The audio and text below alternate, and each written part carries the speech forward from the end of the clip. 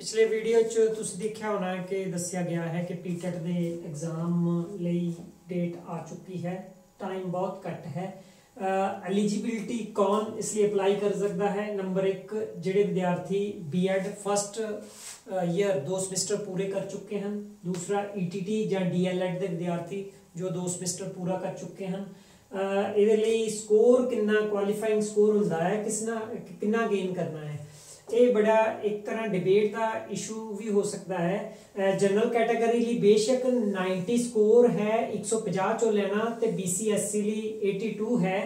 ਪਰ new education policy ਜੇਕਰ ਤੁਸੀਂ ਪੜ੍ਹ ਲਈ ਹੋਵੇ, ਜੇ ਨਹੀਂ ਪੜ੍ਹੀ ਤਾਂ ਪਿਛਲੇ ਕੁਝ ਇੱਕ ਵੀਡੀਓ ਵਿੱਚ ਮੈਂ ਨਿਊ ਐਜੂਕੇਸ਼ਨ ਪਾਲਿਸੀ ਦੀ ਗੱਲ ਕੀਤੀ ਹੈ, ਉਹਦੇ ਆਧਾਰ ਤੇ ਹੀ national professional standard for teachers ਆ ਚੁੱਕਾ ਹੈ, ਜਿਸ ਦੇ ਅਧੀਨ ਟੀਚਰ ਐਜੂਕੇਸ਼ਨ ਤੇ ਬੀਐਡ ਡੀਐਲਐਡ ਤੇ ਟੀਚਰ ਐਜੂਕੇਸ਼ਨ ਦੇ ਬਾਕੀ ਕੋਰਸਾਂ ਤੇ ਪ੍ਰਭਾਵ ਪੈਣਾ ਹੈ। ਤੇ ਟੀਚਰ ਦੀ ਪ੍ਰਮੋਸ਼ਨ ਤੇ ਸੈਲਰੀ ਕਿੱਦਾਂ ਇਨਕਰੀਜ਼ ਹੋਣੀ ਹੈ, ਇਹ ਦੱਸਿਆ ਗਿਆ ਹੈ।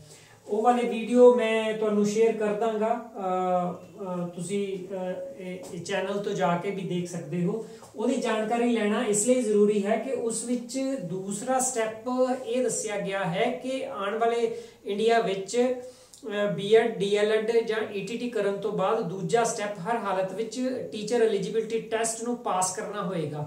ਸੋ ਇਸ ਨੂੰ ਇਸ ਤਰ੍ਹਾਂ ਨਾ ਲਿਆ ਜਾਵੇ ਕਿ ਹਾਲੇ ਤੱਕ ਤਾਂ ਪ੍ਰਾਈਵੇਟ ਸਕੂਲਾਂ ਵਿੱਚ ਬਿਨਾਂ ਟੀਈਟੀ ਤੋਂ ਅਧਿਆਪਕ ਚੱਲ ਰਹੇ ਹਨ, ਲੇਕਿਨ ਆਉਂਦੇ ਸਾਲ ਵਿੱਚ ਅਜਿਹਾ ਨਹੀਂ ਹੋਏਗਾ।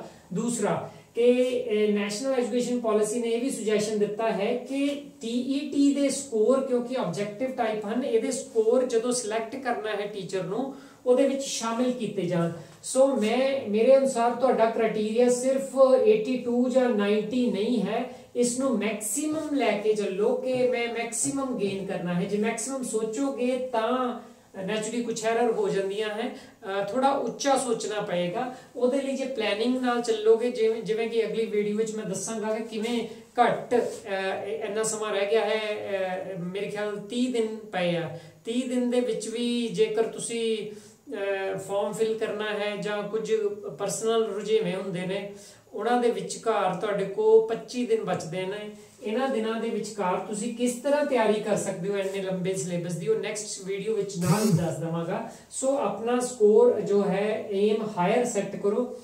ਹੋਰ ਕੌਣ ਅਪਲਾਈ ਕਰ ਸਕਦਾ ਹੈ? ਪੰਜਾਬ ਤੇ ਪੰਜਾਬ ਤੋਂ ਬਾਹਰੀ ਲੋਕ ਵੀ ਜੋ ਐਲੀਜੀਬਲ ਨੇ, ਇਹ ਕੁਆਲੀਫਿਕੇਸ਼ਨ ਰੱਖਦੇ ਆ। ਐਲੀਜੀਬਲ ਅਪਲਾਈ ਕਰ ਸਕਦੇ ਨੇ। ਇਹ ਅਸੀਂ ਜਾਣਦੇ ਹਾਂ ਕਿ ਪੰਜਾਬ ਵਿੱਚ ਜੌਬ ਕਰਨ ਲਈ, ਹਰ ਹਾਲਤ ਵਿੱਚ ਗਵਰਨਮੈਂਟ ਜੌਬ ਕਰਨ ਲਈ। 10ਵੀਂ ਚ ਪੰਜਾਬੀ ਪੜ੍ਹੀ ਹੋਣੀ ਜ਼ਰੂਰੀ ਹੁੰਦੀ ਹੈ। ਜੇਕਰ ਤੁਸੀਂ ਪਾਸ ਕਰ ਲੈਂਦੇ ਹੋ ਤਾਂ ਤੁਹਾਡਾ ਸਰਟੀਫਿਕੇਟ ਪੀਐਸਐਸ ਟੈਟ ਦਾ ਜੋ ਮਿਲਦਾ ਹੈ ਤੁਹਾਨੂੰ ਕਿੰਨੇ ਚਿਰ ਲਈ ਵੈਲਿਡ ਹੈ? ਪਹਿਲਾਂ ਇਹ 7 ਸਾਲ ਲਈ ਹੁੰਦਾ ਸੀ, ਲੇਕਿਨ ਐਨਸੀਟੀ ਦੇ ਨਵੇਂ ਨੋਟੀਫਿਕੇਸ਼ਨ ਮੁਤਾਬਕ ਉਸ ਤੇ ਇੱਕ ਡਿਫਰੈਂਟ ਵੀਡੀਓ ਪਾ ਚੁੱਕਾ ਹਾਂ ਮੈਂ, ਉਹ ਲਾਈਫ ਲਈ ਵੈਲਿਡ ਹੋ ਚੁੱਕਾ ਹੈ। ਸੋ ਇਸ ਗੱਲ ਦੀ ਖੁਸ਼ੀ ਨੂੰ ਮੋਟੀਵੇਸ਼ਨ ਚ ਤਬਦੀਲ ਕਰਕੇ ਮੇਰੇ ਖਿਆਲ ਚ ਮਿਹਨਤ ਹੁਣ ਤੋਂ ਸ਼ੁਰੂ ਕਰ ਦੇਣੀ ਚਾਹੀਦੀ ਹੈ। ਦੋ ਤਰ੍ਹਾਂ ਦੇ ਪੇਪਰ ਹੁੰਦੇ ਹਨ। ਇੱਕ ਤੁਸੀਂ ਜਿਹੜਾ ਫਿਲ ਕਰਨਾ ਹੈ ਫਾਰਮ ਉਹਦੇ ਲਈ ਇਹ ਜਾਣਕਾਰੀ ਜ਼ਰੂਰੀ ਹੈ।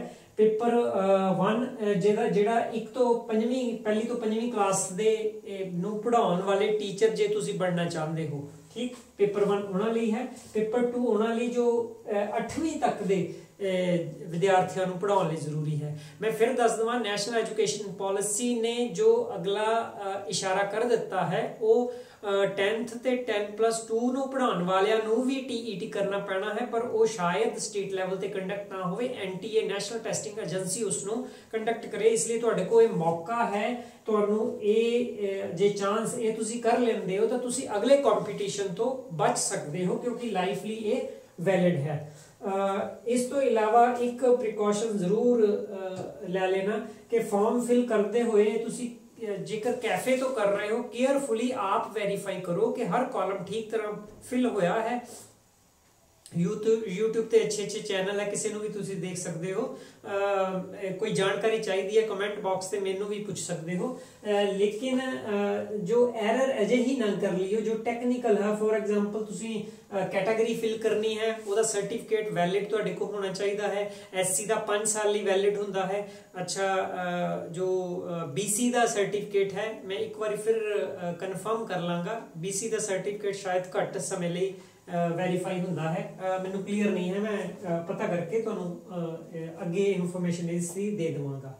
ਸੋ ਇਹ ਫਾਰਮ ਫਿਲ ਕਰੋ ਤੇ ਮੈਂ ਮਤਲਬ ਇਸ ਤੇ ਤੁਹਾਡੇ ਸਾਥ ਚਾਹੀਦਾ ਹੈ ਕਿ ਕਿਵੇਂ ਤੁਸੀਂ ਪੜ੍ਹਨਾ ਚਾਹੁੰਦੇ ਹੋ। ਮੇਰੇ ਕੋਲ 3 4 5 6 ਅਪਰੋਚਸ ਨੇ।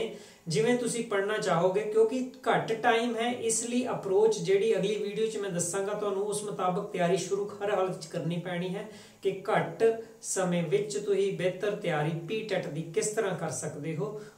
ਉਹਦੇ ਲਈ ਤੁਹਾਨੂੰ ਨੈਕਸਟ ਵੀਡੀਓ ਦੇਖਣਾ ਹੋਏਗਾ। Thank you